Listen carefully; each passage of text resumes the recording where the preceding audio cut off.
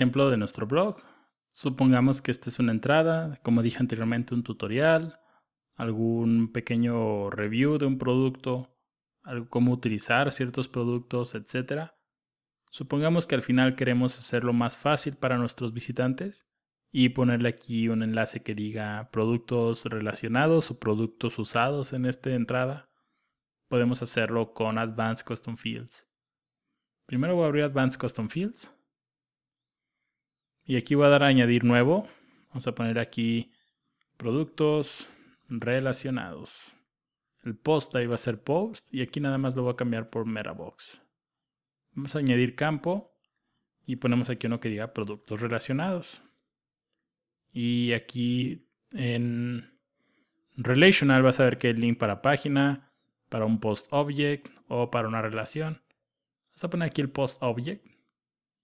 Y si eliges post object te va a preguntar qué post type quieres agregar. Vamos a elegir product y publicamos. Aquí en nuestro backend, en, nuestro en nuestra entrada, vamos a recargar. Y podemos ver que aquí aparece el post object. De aquí podemos elegir los distintos productos que tengas en tu tienda. Si cambiamos este y le vamos a editar aquí y en vez de post object utilizamos relación. Y de nuevo aquí tenemos que elegir el product. Vas a poder cambiar si quieres que te devuelva un post object o un post ID.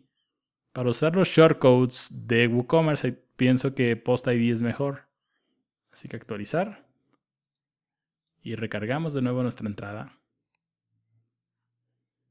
Y la interfaz va a ser un poco distinta, ya que por ejemplo de este lado están todos los productos y aquí puedo dar clic en este más y me van a aparecer los productos relacionados con esta entrada. Entonces vamos a elegir este kit de toallas y este kit de hogar. Y actualizamos. Abrimos nuestro frontend, recargamos Nada va a aparecer de momento. Vamos a darle Simple Show Hooks para elegir dónde se van a mostrar esos posts relacionados. Aquí hay dos, eh, dos secciones que me gustan.